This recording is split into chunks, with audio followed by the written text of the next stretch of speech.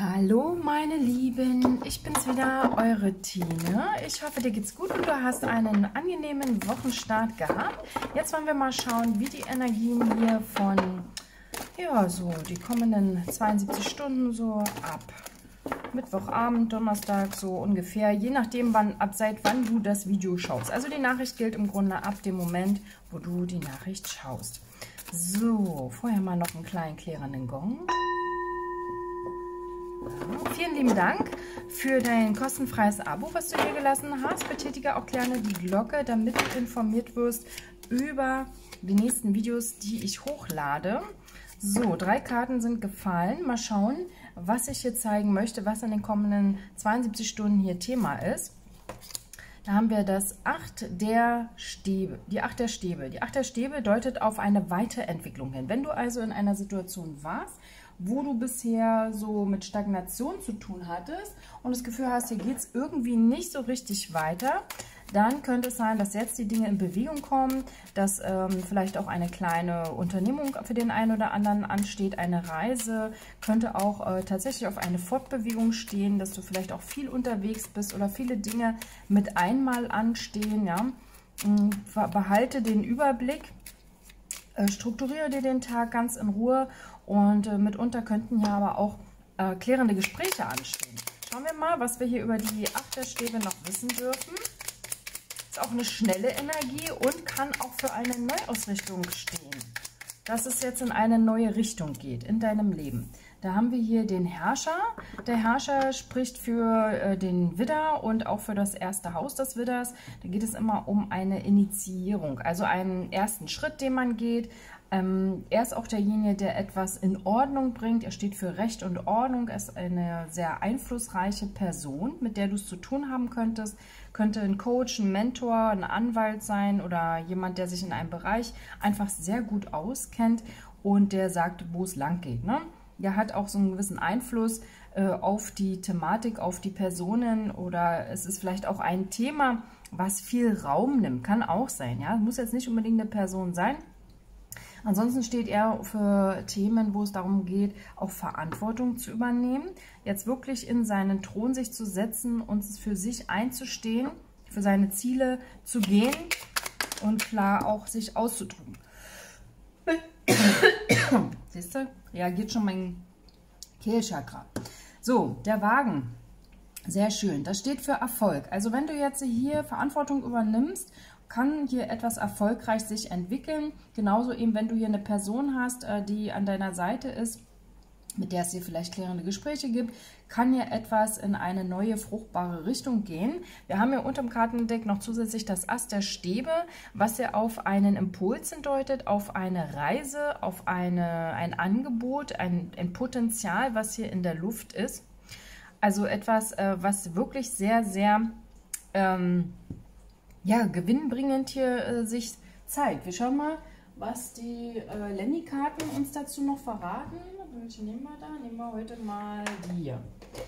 Was dürfen wir zu dieser Situation hier noch wissen? Was ist wichtig, um diese Hürde zu nehmen? Was ist hier wichtig? Was dürfen wir noch wissen? Da haben wir das Buch, das hatten wir in der letzten Legung schon, wo es um Wissen geht, aber auch um Abschließen von Kapiteln.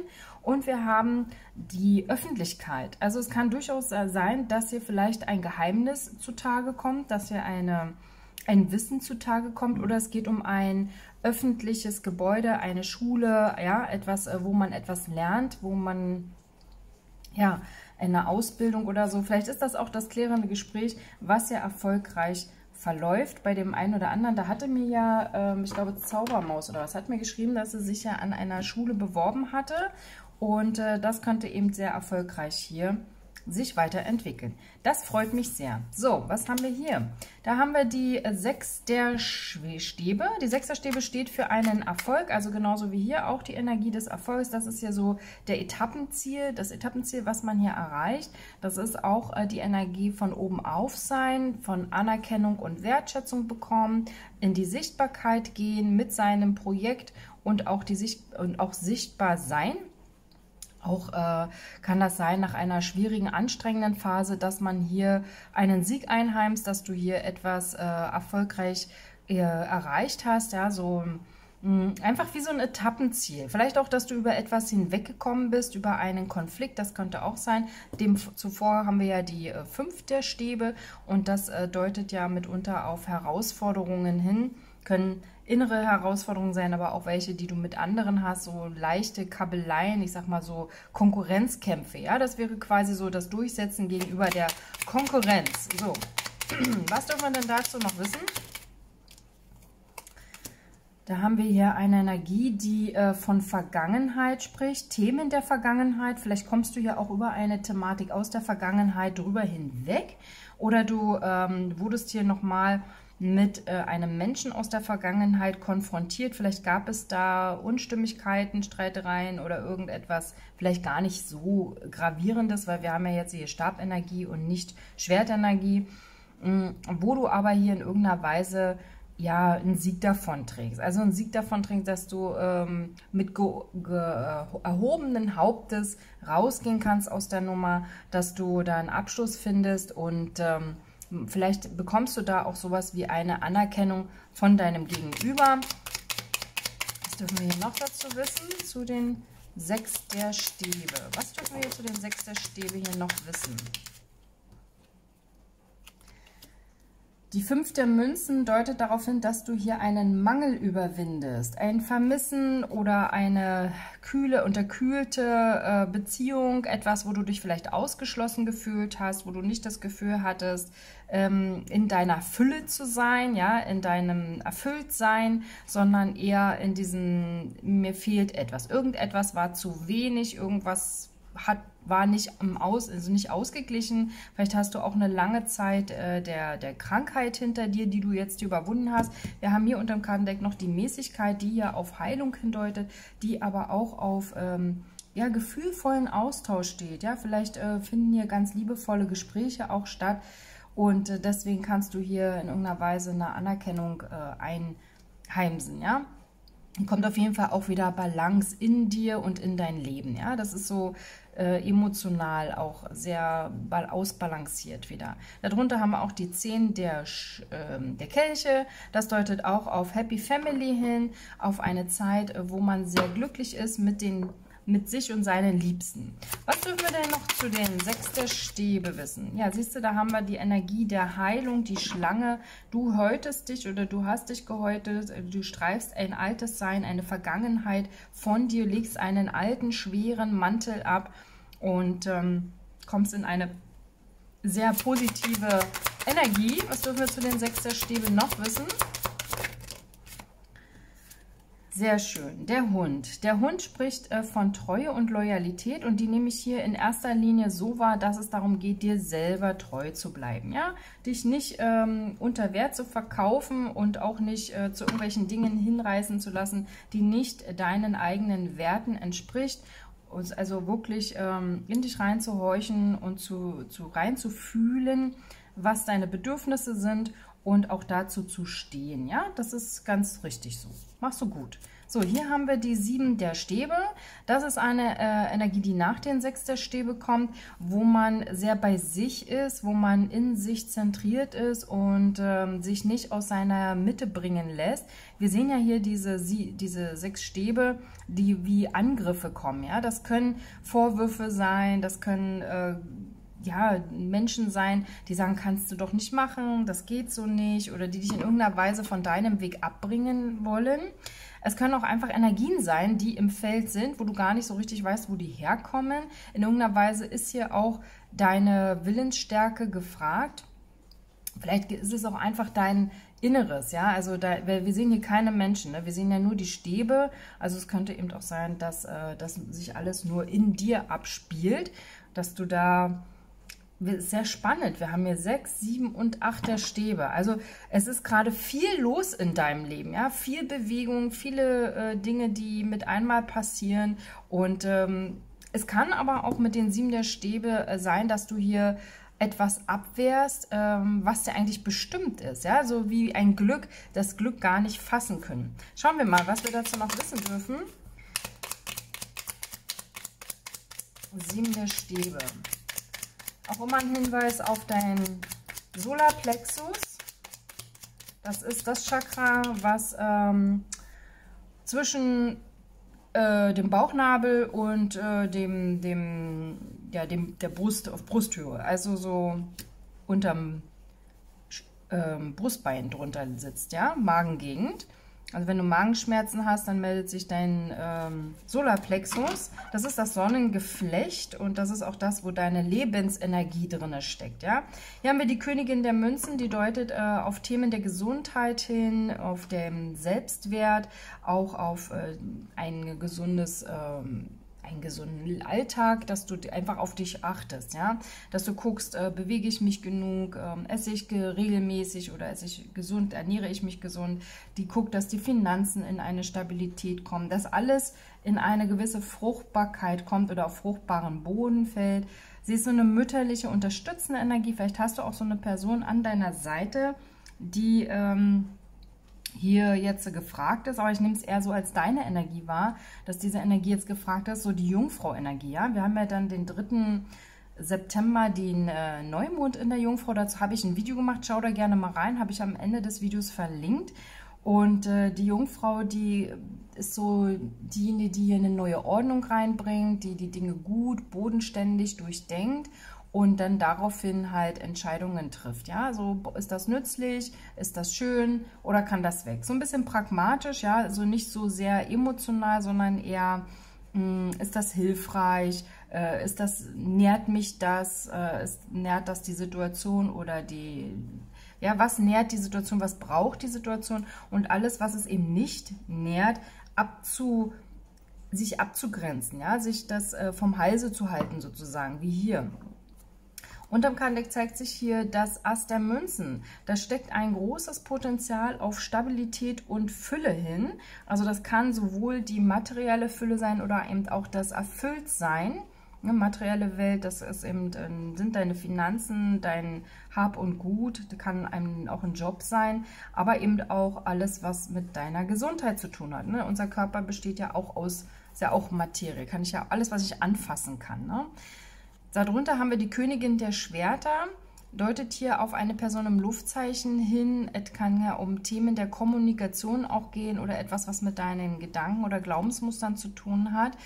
Äh, Luftzeichen wären äh, Wassermann, Waage oder Zwillinge. Ja? Also vielleicht äh, gibt es da Dinge oder Menschen, mit denen du hier zu tun hast, die dir vielleicht ein Angebot machen im Kommunikativen oder irgendetwas, was auch mit Zahlen, Daten, Fakten zu tun hat. Ja? Kaufmännisch oder so kommt mir hier auch gerade. Vielleicht ist das ein Angebot ja, für eine, eine, eine Langfristigkeit auch. Ne? Die Königin der Schwerter, die trifft auch Entscheidungen für die Zukunft. Das ist so der Blick in die Zukunft, der weit, weit vorausschauend. Also denke halt auch vorausschauend, was gibt dir ähm, in der Zukunft auch weiterhin Stabilität. Worauf ähm, möchtest du bauen, ja, den Fundament? Sehr schön, dass wir hier jetzt den Magier haben, denn die beiden, das habe ich schon ein paar Mal gesagt, schau dir mal die Farben an, ne? die sind sich sehr ähnlich, das ist so ein super Couple, weil die Königin der Münzen, die weiß genau, was sie will, ja, und sie manifestiert im Grunde die Dinge, dass sie sich auch wirklich in der materiellen Welt dann zeigen können und äh, beauftragt quasi den Magier ins Tun zu kommen. Der Magier, der fokussiert sich mit aller Kraft dann auf die Dinge, dazu kann es wichtig sein, hier jetzt sich von gewissen Kräften oder Energien oder Menschen abzugrenzen oder Aufgaben, die nicht deine sind, wirklich zu reflektieren, ist das hier meins oder ist das äh, die Baustelle von jemand anders? Muss ich mich jetzt dieser Aufgabe annehmen? Einfach bei dir auch zu bleiben, fokussiert zu bleiben und deine Willensstärke, wie gesagt, wird hier arg äh, getestet. Es könnte hier sehr viel Einsatz erfordern. Ne? Wir den 10 der Stäben unterm Kartendeck ist hier ähm, wirklich Manpower angefragt, also gefragt. Auch wenn du eine Frau bist, aber hier geht es jetzt ums Anpacken, mitunter auch sogar tatsächlich ums Anpacken, also wirklich Dinge umsetzen, ob du jetzt zum Beispiel Renovierungsarbeiten machst oder äh, einen Umzug hast oder irgendetwas, was dich wirklich auch körperlich an eine gewisse Grenze bringen könnte. Aber wenn du das vollbracht hast, dann hast du es geschafft, die Zehner-Energie deutet ja dann auch auf die, das Ende eines Zyklus hin, das heißt auch das Ende einer anstrengenden Phase. Und du hast, wie gesagt, die Kraft hier mit dem Magier an deiner Seite, Königin der Münzen, sehr, sehr schönes äh, Couple. Du bekommst im Grunde jeglichen Support, dein Ziel zu erreichen. Sehr schön. Was dürfen wir noch zu wissen, um diese Hürde zu nehmen? Was unterstützt dich hier? Die Mäuse, eine Kleinigkeit. Vielleicht ist es, äh, gibt es da äh, einen Mangel an äh, Selbstwert. Das könnte auch sein, dass es da etwas gibt, was immer wieder an dir knabbert. Bleibe hier, wie gesagt, fokussiert. Bleibe klar in dir.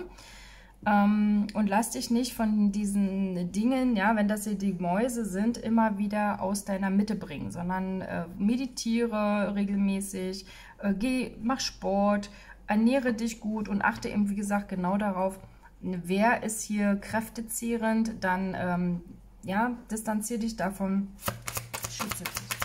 Was ist wir hier noch zu wissen? Okay.